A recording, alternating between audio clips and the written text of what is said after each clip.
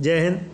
इस वीडियो में बात करेंगे कि बेटियों को संपत्ति में बराबर अधिकार क्यों नहीं मिलता, जबकि कानून जो है, वो स्पष्ट प्रावधान कर रहा है कि बेटियों को संपत्ति में बराबर जो है, वो अधिकार मिलेगा। लेकिन फिर भी बेटियों को संपत्ति में बराबर अधिकार नहीं मिलता। और बात करेंगे किन कंडीशंस में नहीं मिलता है। और उस एक्ट के बारे में बात करेंगे जो स्पष्ट मना करती है कि बेटियों को संपत्ति में अधिकार नहीं मिलेगा। सबके बारे में बात करेंगे और यदि आप कोई सलाह लेना चाहते ले सकते कॉन्टैक्ट नंबर हमारा वीडियो के डिस्क्रिप्शन में दिया गया है। सबसे पहले हम बात करेंगे उस कानून के बारे में जो कहता है कि बेटियों को संपत्ति में अधिकार मिलेगा। फिर उसके बाद बात करेंगे कि कौन सा कानून ये कहता है कि नहीं मिलेगा। सबसे पहले हम उठाएँगे हिंदू उत्तराधिकार अधिनियम। हिंदू उत्तराधिकार अधिनियम 1956 में 2005 में संशोधन हुआ और स्पष्ट इस बात का प्रावधान किया गया कि जिस तरीके से पुत्र को, एक पुत्र को पिता की संपत्ति में अधिकार होता है, उसी तरीके से पुत्री को भी पिता की संपत्ति में बराबर जो है, बराबर रूप से उसमें अधिकार होगा। बहुत ही अच्छा कानून था। लेकिन ऐसा एक्चुअल है नहीं ऐसा जो है, बिल्कुल भी नहीं है कि बेटियों को जो है, संपत्ति में अधिकार मिल ही जाए। अब मैं आपको ये भी बता दूँ, ये कानून कहाँ लागू होगा।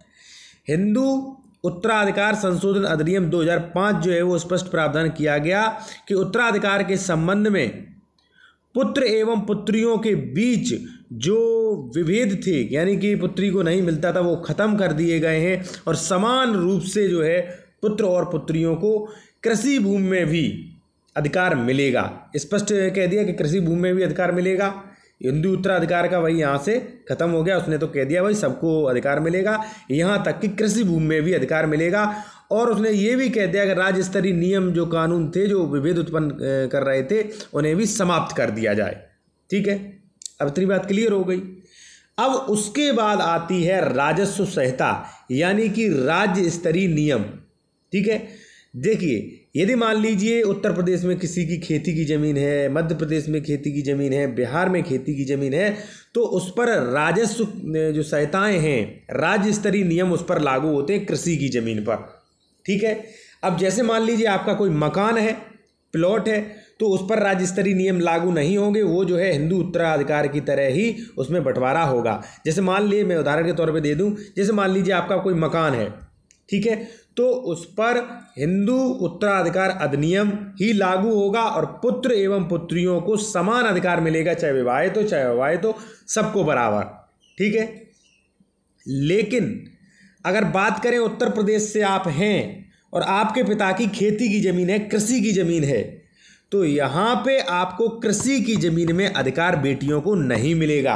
अब आप ये भी जान लीजिए, कब नहीं मिलेगा? देखिए उत्तर प्रदेश राजस्व संहिता की धारा 108 ये प्रावधान करती है कि फ़र्स्ट यानी कि सबसे पहले किसे अधिकार मिलेगा? देखिए, सबसे पहले जो अधिकार मिलेगा, वो मिलेगा विधवा, पुत्र और अविवाहित पुत्री। ध्यान रहे, इसमें अविवाहित पुत्री लगा दिया है।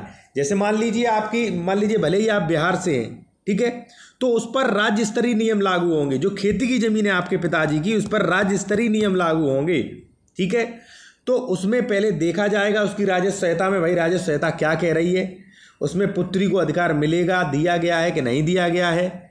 ठीक है? अब जैसे मैं उदाहरण के तौर पे मैं आपको बता दूँ कि मैं उत्तर प्रदेश से हूँ और मान लीजिए उत्तर प्रदेश में आपके पिताजी हैं और उनकी एक्सपायर वो डेथ हो जाते हैं तो उसके जो भी पुत्र और पुत्रियाँ होंगी तो उनमें कैसे बटेगा?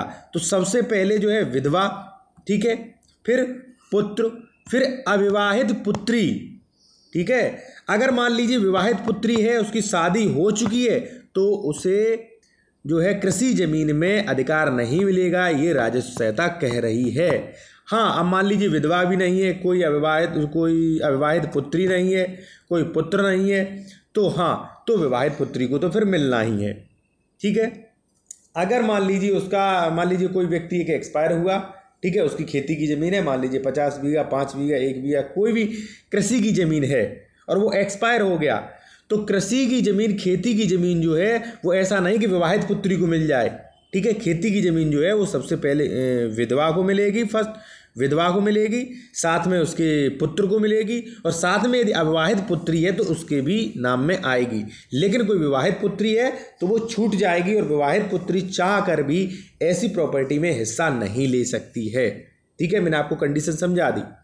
दूसरी कंडीशन भी आप समझ लीजिए।